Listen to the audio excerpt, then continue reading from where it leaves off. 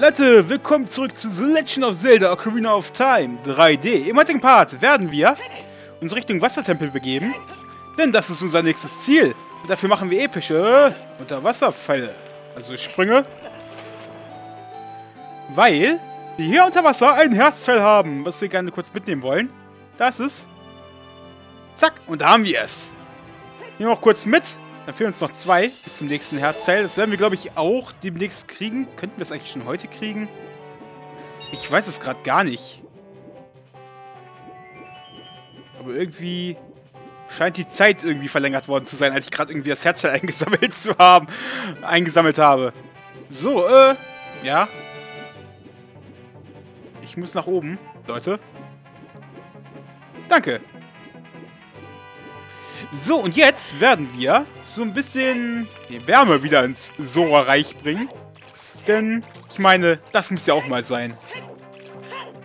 Meiner Meinung nach. Und als allererstes werden wir den König befreien, indem wir uns vor ihm stellen und das Feuer auf ihn werfen.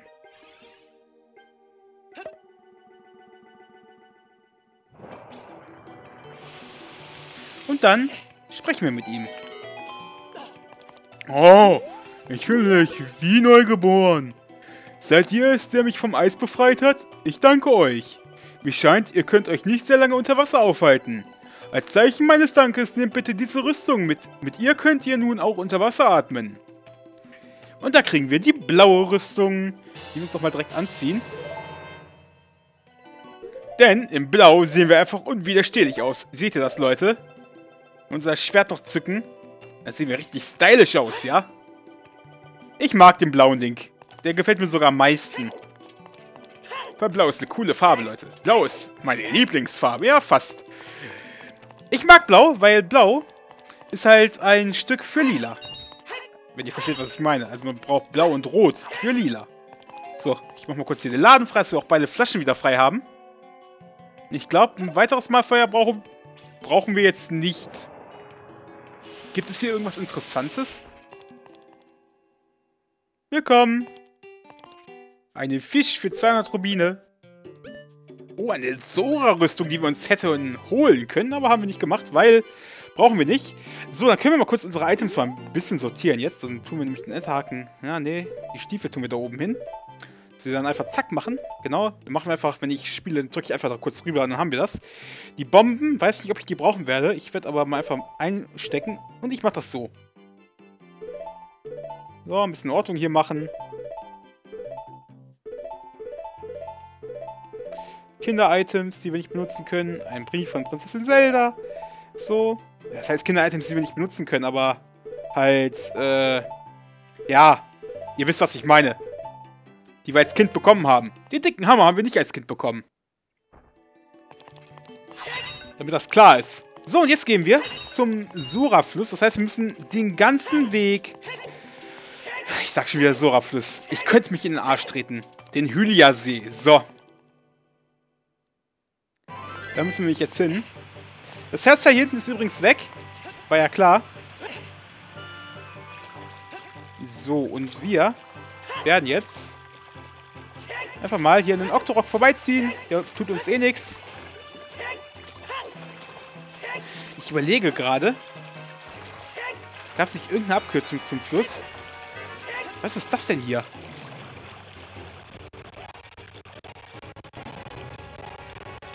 Kann ich da hoch?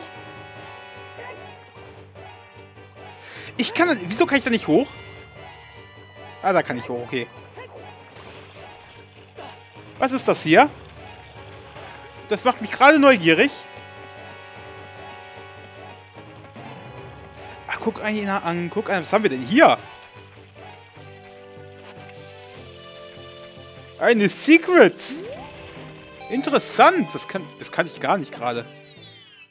Oh, hier können wir uns Feen holen. Ich würde sagen, weil ich ein Schwachmat bin, holen wir uns mal kurz eine Fee dazu.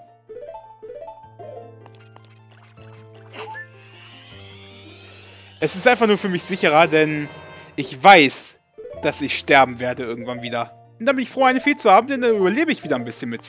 Hm. Das ist meine Trumpfkarte. So, da ist auch ein Loch. Hä? Und da ist eine Kiste. Oh, ein paar Rubine. Das ist nett. Nehme ich dankend dann, muss ich zugeben. Jetzt überlege ich gerade, ob wir irgendwie einen Schlenker machen können. Und zwar äh, würde ich sagen, ich möchte gerne... Äh, ah, wo möchte ich hin? Ähm... Ähm, vor Hyrule, denn da gibt es doch ein Herzteil an dem Baum. Ich wusste, da war irgendwas, Leute. Ich wusste es einfach. Aber irgendwie habe ich das nicht auf die Reihe bekommen damals. Diesmal bin ich klüger, deswegen werde ich mir kurz Epona rufen. Mit Salias Lied, was ich nicht vergessen habe. Deswegen suche ich nochmal nach. Nicht Salia, Eponas, sorry. Äh, Eponas da holen wir uns Epona hin. Das geht nämlich ein bisschen schneller, als über das ganze Feld zu laufen, weil wir müssen jetzt theoretisch nach Hyrule. Und da ist Epona. Hallo Epona. Der blaue Ritter kommt. Äh, wir müssen jetzt nach Hyrule und dann müssen wir wieder ganz nach Süden zum Tempel. Theoretisch haben wir auch den Song, ne? Dass mal so kurz nachdenke. Ich bin ja so ein Genie. Macht aber jetzt nichts. So, wir suchen... Gott, wer bist denn du?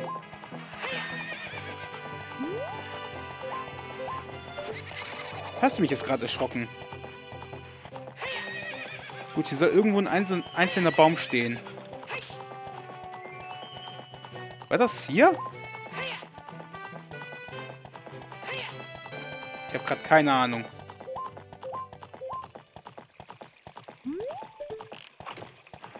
Einfach mal rausfinden. Irgendwo gab es einen Baum mit einem Herzteil. Ich weiß das. Kann auch der Baum da hinten gewesen sein. Kann auch der gewesen sein. Schön, dass die Puna auch keine Angst hat, wenn hinter ihr eine Bombe hochgeht. Das ist ein treues Pferd, ne? Ich kann mir vorstellen, das eine oder andere Pferd, äh, wenn mal eine Bombe hochgeht, haut ab.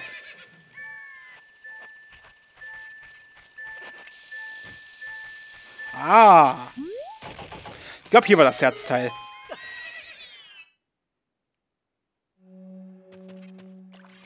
Tschö. Ja, da war's.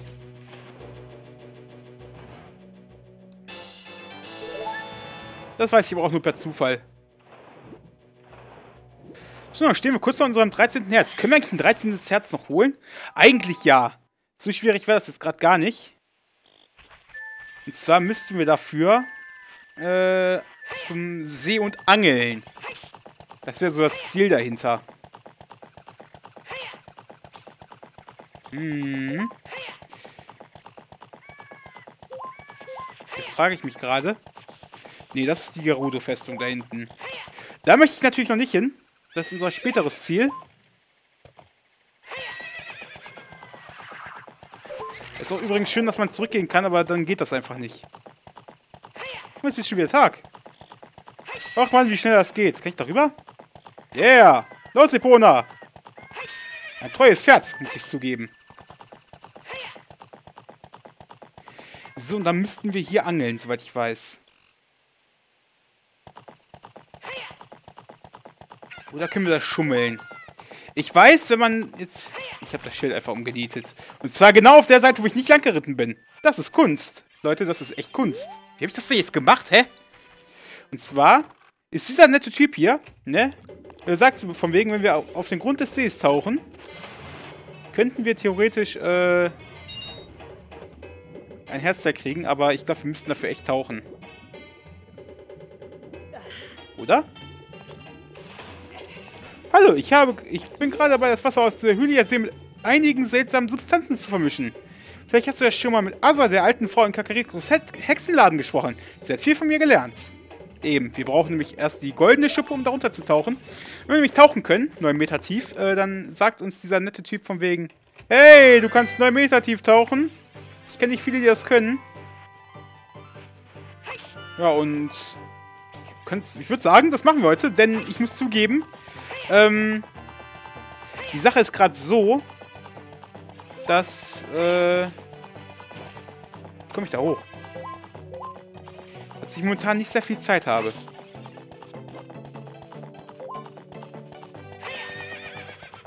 Mir fällt doch gerade auf, das Wasser vom Hylia See ist ziemlich tief. Oder bin ich gerade blöd? Tatsache. Komme ich da gerade gar nicht ran?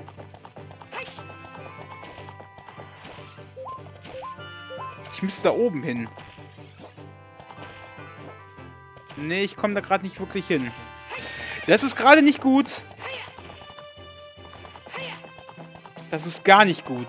Das ist dann nicht so geplant, wie ich es wollte. Okay, dann müssen wir erst den Hylia-See machen. Ist leider so. So, und der Hylia-See. Ach, nerv nicht. Stirb, Monster! Jetzt fängt hier einfach an zu regnen. Das ist unglaublich. Der Hylia-See, der Tempel zum Hylia-See ist das hier. Und wer hat schon erkannt? Genau, es ist ein Unterwassertempel. Und wir wissen, wie sehr ich Unterwassertempel mag. So. Mal kurz das aktivieren. Und dann betreten wir den Wassertempel. Mysteriös.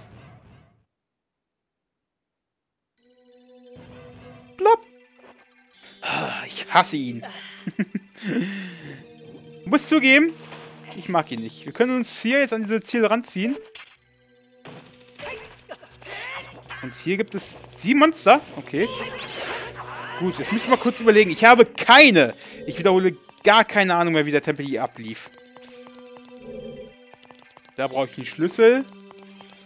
Hm. Ich weiß auf jeden Fall, dass wir hier einen Endhaken wieder kriegen. Das macht unseren Endhaken doppelt so lang, das weiß ich.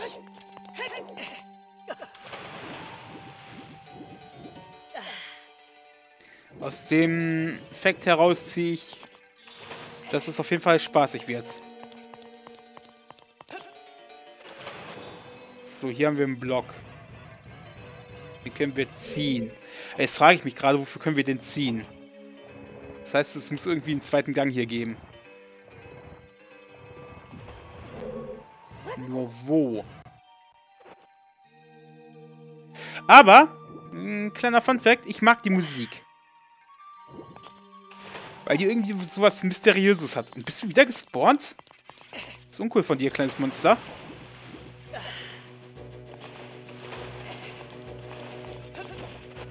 So. Hier können wir nicht lang. Alter, das kann nicht wahr sein. Jetzt müssen wir uns echt hier durchfriemeln. Vielleicht ganz unten. Da kommen wir später hin.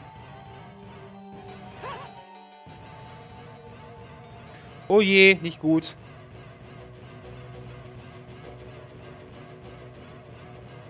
Was ist das hier?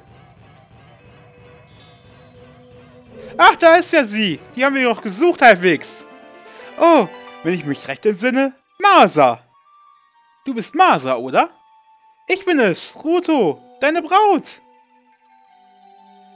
Boah, mir wird gerade kalt. Und ich habe Gänsehaut bekommen. Die Prinzessin der Zoras. Oh mein Gott! Ich habe... Ich, mir wird jetzt gerade zum ersten Mal klar, dass ich einfach nur eine andere Kleidung anhabe und trotzdem unter Wasser atmen kann. Das ist wie so Kiemenkleidung, ja? Wenn ich das jetzt mal so recht überlege, haben wir nichts anderes gemacht als irgendeinen anderen Anzug. Es ist ja so, als wenn ich jetzt sagen würde, von wegen, ich ziehe mal Pullover an und dann friere ich nie wieder im Winter. Punkt. Genau, so ist das jetzt. Das ist mir vorher nie aufgefallen.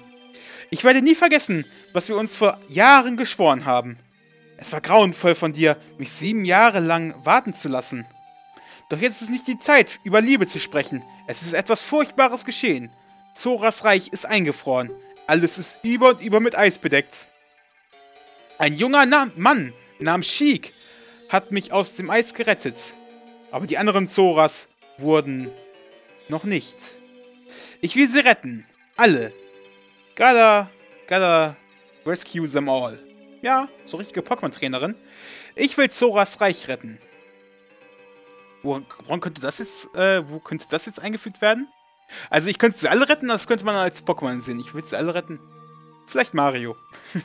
ich will alle Toads und Peach retten. Ja, so ist es. Du musst mir helfen. Du musst es für mich tun. Für die Frau, die du heiraten wirst.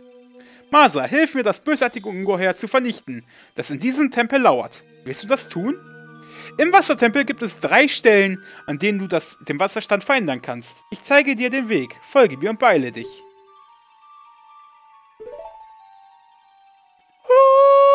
Sie schwimmt nicht nach oben, das ist heilig. Oh.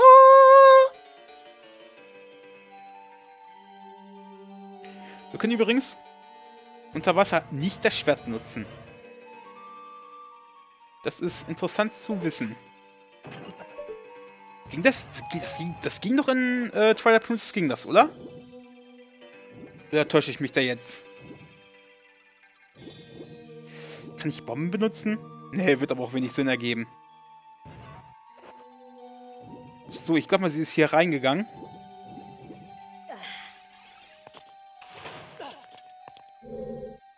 Jener, der den Zugang auf, der, auf dem Grund des Sees öffnen will, möge ein Schlaflied aus königlicher Überlieferung spielen. Ah, und wo ist sie jetzt? Sie ist einfach weggegangen. Aber ist ja auch kein Problem. Ich meine, wenn die Frau weg ist, dann bin ich zufrieden. Haha, da kann ich wieder frei leben. Ah, ah ja, das ging ja mir wird gerade klar, wie der Tempel abläuft.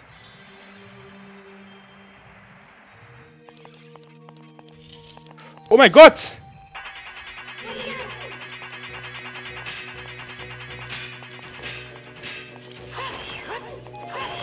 Dämliche Steine! Legt euch nicht mit den anderen, äh, mit dem falschen Steinzerstörer an, Leute. So, snacken wir uns noch die Karte oder was ist das hier drin? Ich glaube schon.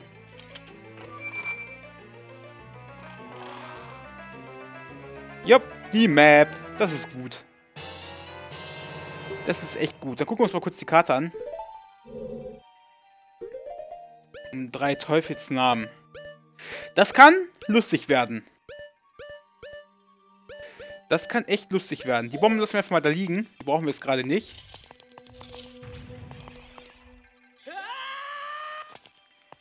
Und warum leuchtet das Feuer hier? Pfeil und Bogen, okay.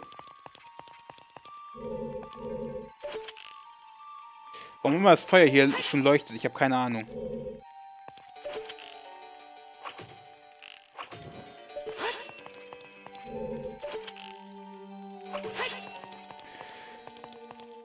Ich glaube, das könnte man auch einfach mit dem Stick machen, ne?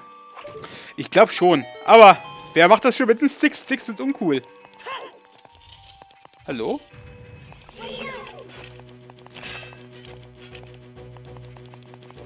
Nein.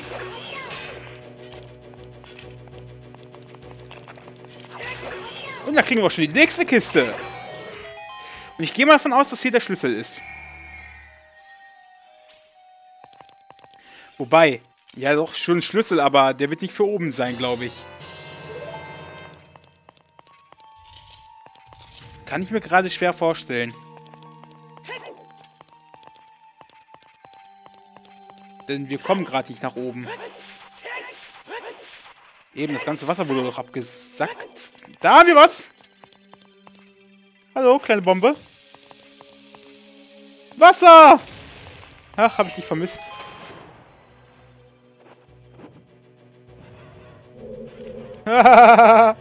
Aua. Fuck, das war nicht so gewollt. Ach herrje.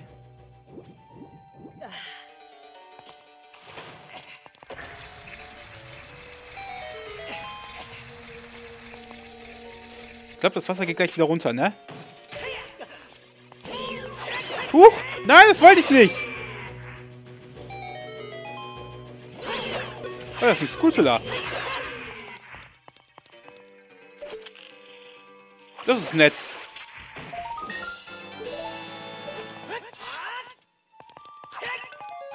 Jetzt die andere Frage, bin ich hier nur für die Scutula hingegangen oder was? Ich glaube ja, ne? Oder hat es irgendwas mit dem Bild zu tun? Dem Bild kann ich aber auch nichts machen. Okay. Das ist nicht so schlimm. Die Skulltula war ja auch eigentlich schon einiges wert. Wobei, ich muss kurz gucken. Ist hier hinten irgendwas? Ich bin mir sehr unsicher gerade bei diesem Dungeon, ja? Das tut mir echt leid an der Stelle, aber... Es ist ein Wasserdungeon. Und wir wissen alle, was Wasser ist. Wasser ist böse. Aber gut, wir haben, glaube ich, gut was weggemacht heute.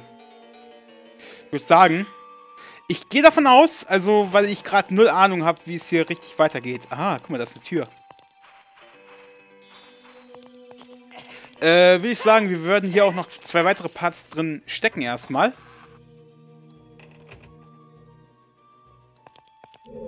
Hallo?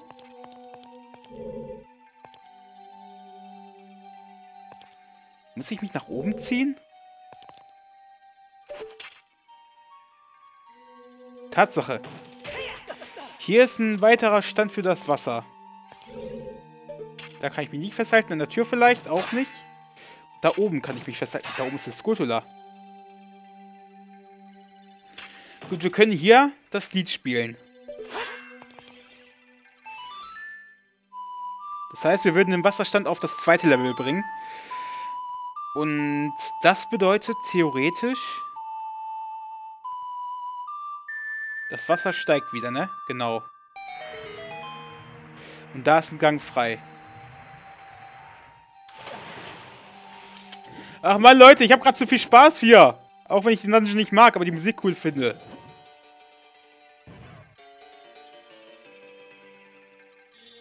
So, was haben wir denn hier?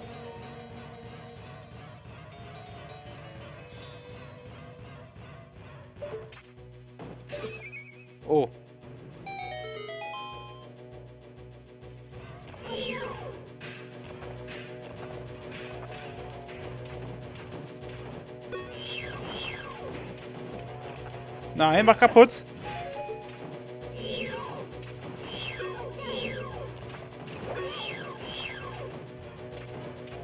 Dankeschön. War zwar jetzt ein bisschen gespam hier, aber im Endeffekt führt ja auch jedes Mittel zum Ziel. So, die erste Frage, was haben wir jetzt hier? Hier haben wir eine kleine Kiste. Dort finden wir bestimmt einen Schlüssel. Ja, war vorher zu sehen. Und auf der anderen Seite finden wir... Was das Schicksal uns bringt. Nein, Spaß. Eine Decke. Oh, okay. War nicht so erfolgreich, wie ich dachte. Gut, das macht aber nichts. Äh, ich würde sagen jetzt an der Stelle wirklich, weil... Wir wollen den Part auch nicht zu lang ziehen. Am Ende sagt ihr wieder, Masa, du machst wieder viel zu viel. Und wir gucken nicht mehr lange mit. Hm. Ich würde sagen, im nächsten Part werden wir äh, erstmal hier hochkommen irgendwie. Das zieht sich ja doch dann schon ein bisschen. Werden wir... Ach, guck einer an. War es wirklich klug, das jetzt schon so hoch zu machen? Ich habe leider gerade keine Ahnung. Aber ich würde sagen, wir werden uns dann angucken, was wir hinter Tür Nummer der hier finden. Also hinter der Tür hier finden. Wo ein Zeichen steht für drei Wasserlevel. Ich bedanke mich fürs Reinschalten. Bis zum nächsten Mal und Masala Vista, Baby.